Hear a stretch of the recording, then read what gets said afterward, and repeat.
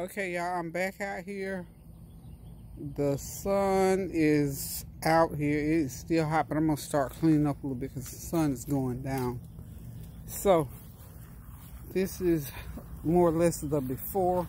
I'm just going to uh, go ahead and start cleaning up. Then I'm going to come back and we'll plant a few, and then I'm going to get out from out here. It's, it's better. It's not that hot now. The sun is still out, though.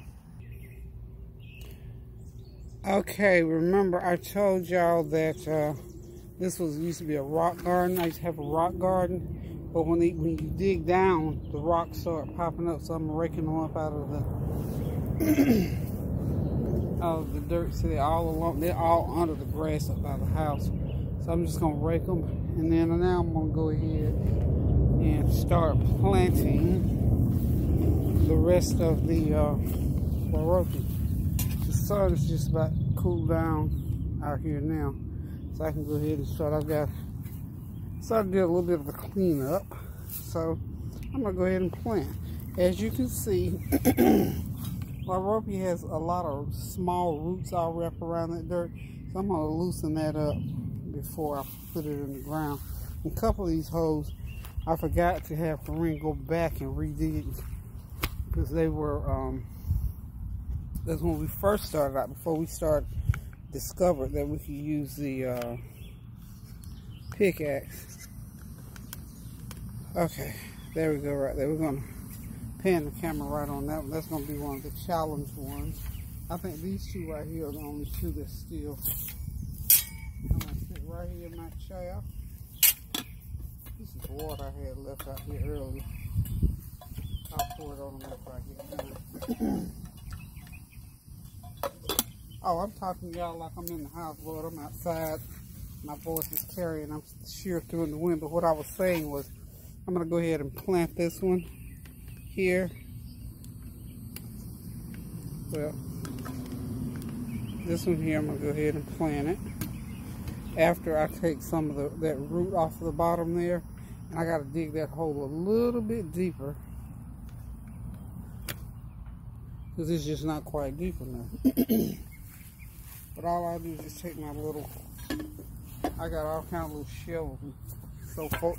And y'all wouldn't know I got all these gardening tools just like I got pots and pans in the house.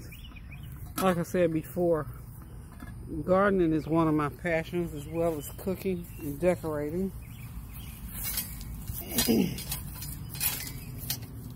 hope y'all can hear me. I hope the wind isn't taking my voice away. But this is just one of those things I've always loved, loved, loved to do. So let me go ahead and get started with, uh, I got me a little chair to sit on over here. It's my little chair. It's my little garden chair. Y'all don't need to see me. I, I, I look like Farmer, Mrs. Farmer Joe here today. But anywho, I'm to go ahead and get started with this. Oh, let me get my gloves also.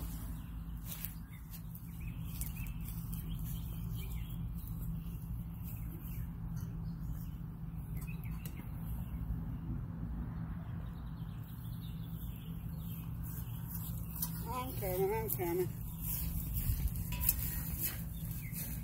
I did not realize there was so many uh, rocks left in my yard. And I've also got this bottle here filled with citronella oil and water. And this, you know, this keeps the bugs off of me. I don't have to worry, worry about uh, bugs getting all over. So I just spray it all over myself. And the bugs stay away. Whew, that's good to me.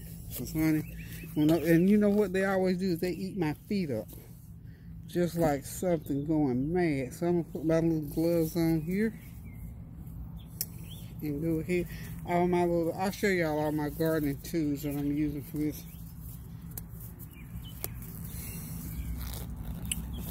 I want y'all to know, y'all. I, I want y'all to know that I am not doing any real heavy work. Not at all. So when you look at this video, like I said, for those of you who don't know, Kareem is my grandchild. He's 22 tall, brown, and handsome. And uh, he dug all my holes for me, thank God. That was just a blessing. Killing them. Okay. So, what I have to do for this particular plant here is get, um, there it is. That's my little gardening shovel. And I'm just going to take it and hopefully you all can see. Yeah. Okay. So, I'm just going to take it and just loosen that dirt and those. There's a lot. See, these, these um, type of plants have lots of roots there and they grow deep into the ground. So I always loosen mine up so they can have room to spread. Now, like I said before, this is one of the holes that we were having a real hard time with, and it's because those rocks are down there. So I'm going to get in there because one, yeah, I'm so free just keep right on moving with digging. I'm just to go back in there and get that one. See, it's loaded with rocks in here, just loaded. That's why I had to rake those rocks out. So, just a matter, you know, when you're digging and doing stuff like that, and it was real hot when we were out here earlier too. So we hurry up and dug the whole hunt, and I wanted to keep Kareem going. Hey, let me let me just say this: when you're outside doing something, I know when you're outside eating, the flies come from nowhere, and you never invite them, but they're always here. I want you to know these rascals have started swarming around here when I'm trying to do my garden. Now, what do they want while I'm digging this uh, plant flowers? Who, who, who invite? I didn't. They, they haven't dug a hole. They haven't moved a rock or filled a hole. They, they just keep just clamoring around me. I don't know what that's about, man. They got to go. When I looked out the door, I had my uh, my gardening shoes outside the door. And that was one or two of them wanting to sit there on my little shoes. And I'm trying to figure, why y'all sitting there? What I want? You know what? I hope my neighbor's going to come out here and hear me talking to myself. Well, I'm not talking to myself because I'm talking to you all. Talking to my YouTube family. My neighbor daughter Cynthia, she might come to the door. I think I'm just losing it. But you see, the ground is much softer now that um, you get those rocks out of there. It's a lot easier to get. I think there's probably about three or four inches of rocks in here because like I said, when I had that rock garden, y'all know I had the most rocks over here. It was really pretty. A friend of mine had that rock garden. And she said, Peggy, why don't you do a rock garden? Looked so nice. When I first moved in here, I thought, well, yeah, because I didn't too much care for mulch. So I messed around and did a rock garden. And I don't know what she did to hers that was so special. But she didn't have a lot of uh, rocks, I mean uh, weeds growing in hers. But mine just started with the weeds. And I was working at the time. And I thought, now you know what I can do is gardening and taking care of watering. Honey, the weeds just start getting just unreasonable. So I had to let the rock garden go and I just let the grass, just let the grass just grow through, you know, I stopped trying with it. So now we got all these rocks on this part here under. So I'm just gonna do this one. And for you old gardeners, if you got some new tricks for me, let me know of the new gardens. I hope you learned something. You know, gardening is, is a nice, um, to me it's relaxing. And when I used to work, it was a real stress outlet. You know, if I work all day, talking to people all day, because I told you I did, I was, a, I was an HR manager, and I had to talk, talk to people all day long. Sometimes, wasn't necessarily always, everything wasn't always hunky-dory. Not that everything was mean and nasty, but when people have issues, you know, kind of weighs on you some days when I got home, I needed some relief. And this is what I used to come home and do, all these trees in the yard. Planting, that was just my thing to get out here and do. You see how deep these rocks are? See there? I wasn't kidding about these rocks, they are out here in full force. I was thinking I might let the kids come in and uh, pick them up, but I don't know if that might be a little too too much temptation for them not to throw them everywhere. I'm sorry about my scarf getting off. Okay, perfect. That one's ready. So that one's ready for the, uh, yeah. Yeah, that one's ready to be planted. Now I gotta get some of these rocks out of here though. I don't want all these rocks down in there. Because what needs to happen, um, the roots need to be able to run in the ground and take root and grow. Okay. That's why I kept telling Kareem, save my dirt, save my dirt, put my dirt in the pile because I, I, need this dirt to uh, backfill these holes. Okay. I won't get every last one out, but I'll get most of them out.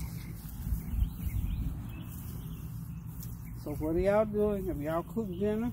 Or y'all out here messing around me in this yard? Well, I don't know, uh, Kareem, I'm not cook. I'm not doing a lot of cooking this week. I think I, I did, um, have I even cooked this week so far? Today is Wednesday. I might cook. I thought about doing steaks this afternoon when I get in, but depending on how hot and sweaty I am, because a salad is good for me. I love a good salad. And Kareem, I got pizza that I can put in the fridge. I'm in the oven or uh, something simple like that. you understand, honey. And you know what? I have to, I've learned now how to divide up my energy so that I can. So for the most part, this one is planted. and that's how you plant a, that's how you plant your little plants and shrubs and stuff. So if you ever want to know how difficult it is, the most difficult thing about planting something like this, or any tree or shrub, is getting the hole dug. Uh, after that, it's just, you know, putting it in there and getting the dirt back on it. So it's not very hard. Sometimes it can be a heavy work. Sometimes it can be tedious work. Because if your yard is like mine, full of uh, centipede grass or roots or rocks like I had to dig through for most of these holes, or like ring had to dig through most of these holes, that's the biggest thing about planting is uh, rocks, roots, or just, you know, just, you know, centipede grass. So that is done and I got about, let's see, I've planted three. So that means I got nine more to plant. So I'm not gonna uh, make y'all watch the paint dry. I'm just gonna go ahead and plant the rest and I will show y'all what it looks like after I'm done. So hope y'all got a good little lesson about how to dig a hole, how to plant.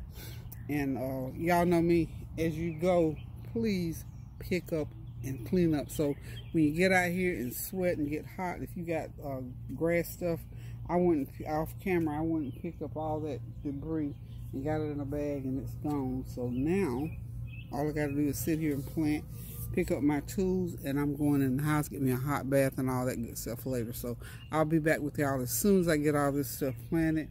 Meanwhile, uh, be thinking about what you're going to do for dinner because I think I got mine down pat. A nice salad more than likely. So uh, basically, thank y'all for tuning in. Love you guys.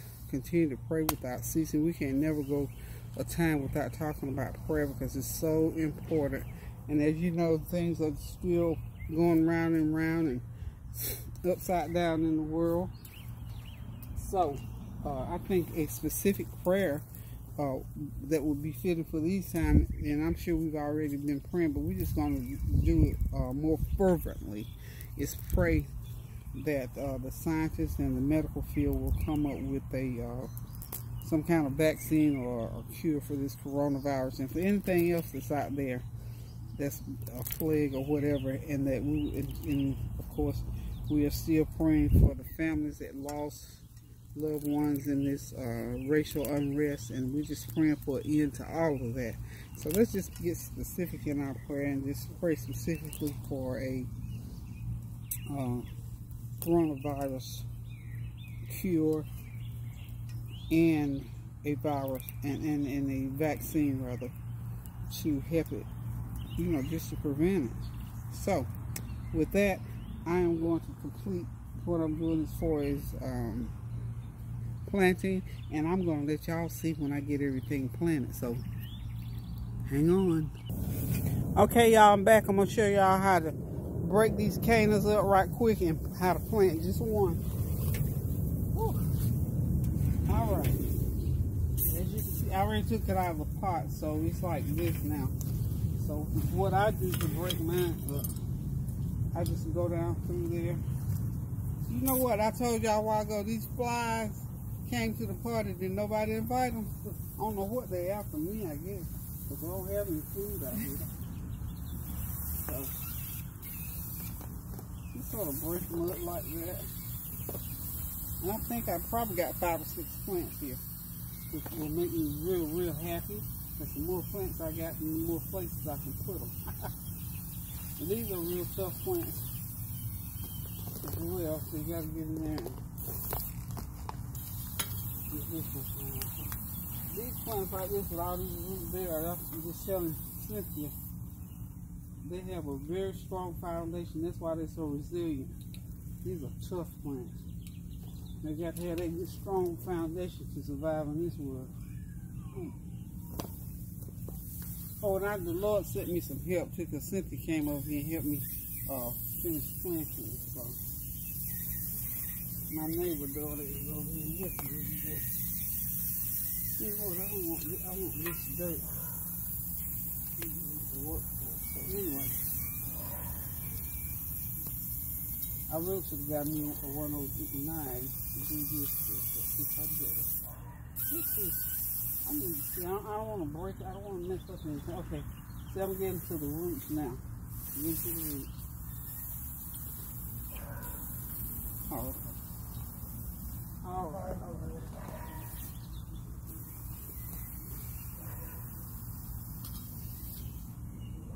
Cynthia, you can like when you water them, put just let it soak them. Uh, yeah, soak Okay. them real good. And I, I've been praying for rain. I guess I guess I just need to get Me these in the ground first. So I'm hopeful. I usually check the weather forecast.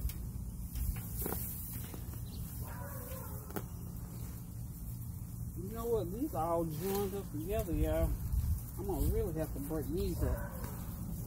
So we just gonna keep working and This is the working. longest hose I've seen in my life. Huh? This hose, this is the longest hose I ever You know I had about it. Of course. And every time I take it out, I just think, well, why did you put this thing all half a day to fold? I'm gonna borrow some of your. I, Go my ahead. My, my little hose won't fit on this side. Oh, okay, yeah, go ahead, help uh, yourself. I had one of those little wind up with soup and uh, Uh-huh. got ready to use it. A few girl, that thing had dry rotted. Dry, yes, that's what I, my dry rotted too. I had to get another one. Mm-hmm. My husband bought me that thing a long time ago. I guess it was time for a new one. Okay, y'all. Here's one.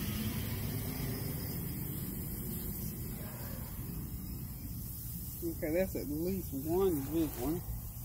This is gonna be like three big ones maybe. So I know that's an individual plant there. Because those at the bottom they're joined together. So let's see if this one breaks up. Hmm. And I'm sure I can break them down further. I'm not going to break them down all that much, but let's see what we got going on here. Yeah, this is one right here too, this is breaking off itself. Okay. Okay, so that's one, two, that's three. And I want two nice ones here in the front, so I'm gonna actually probably leave that one like it is. And this one has already blossomed, as you can see. And this just about died because it's just been sitting out, so the sun has gotten to that one, of course. Oh, okay. So there's going to be some new blossoms or blooms or whatever you want to call them. So these are okay. So one, this big one here is going to go in this hole right over here. Whew. Y'all. Yeah, first my hose first. Yeah.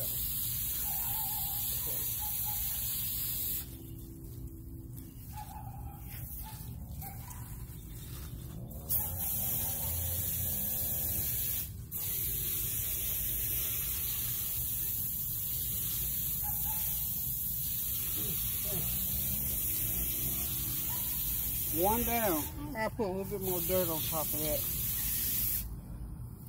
The other one's way on the other side. But that's the gist of it. I got one more to plant.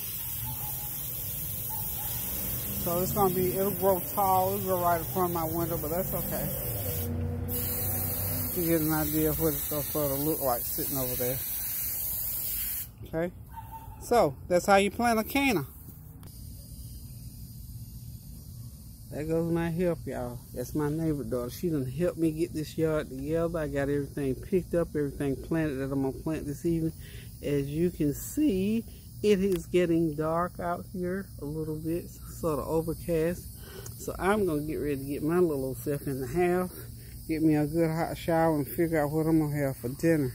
To get a little bit of a close up. There's some of those rocks that I raked up. I think I'm gonna let the kids come pick the rocks up. They'll get a kick out of that. So I've got this area planted. And I'm gonna keep working and I got other stuff to install. But for right now, that's that's the uh, foundation for this. So I don't know if I'm gonna have it graded out and put um, I don't know if I want to put, uh, what do you call it, mulch in there. Mulch to me is just messy. Or if I'm just going to uh, get the grass fixed in there and just just let it be a grassy area. But there's going to be a lot of planting in there, so it probably won't even matter. So, I am done for the evening with my planting. Go put the rest of my tools up. Got both of my cannas in. Let me see if y'all can see. Tell how I got those planted in.